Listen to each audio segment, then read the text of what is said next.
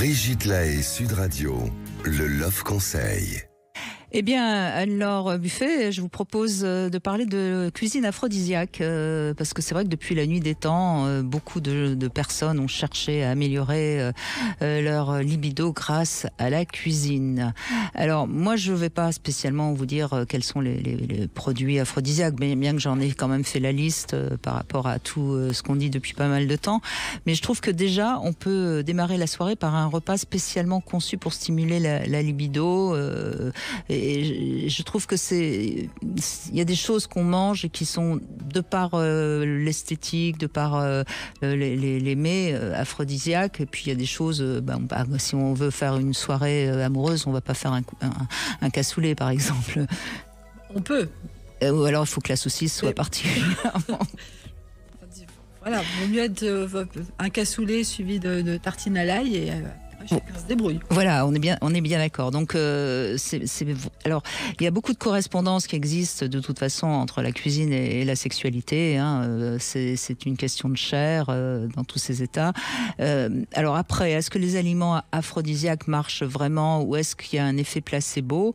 Je ne sais pas si on peut le dire vraiment. Ce qui est sûr, c'est qu'il y a quand même, il y a quand même des aliments qui vont fluidifier le sang et donc forcément favoriser ben, l'érection euh, aussi bien du pénis que du clitoris. C'est en ce sens qu'on peut dire que peut-être qu'il y a des aliments qui, marchent.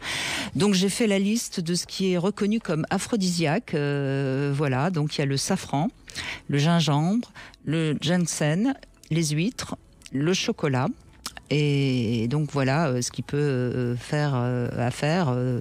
Maintenant, il faudrait peut-être en manger beaucoup pour que ça ait réellement un effet sur notre libido.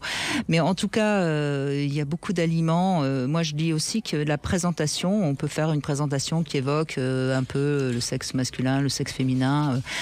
et puis, on peut faire écrire le menu avec des, des, des, des noms qui, qui évoque justement le, mhm.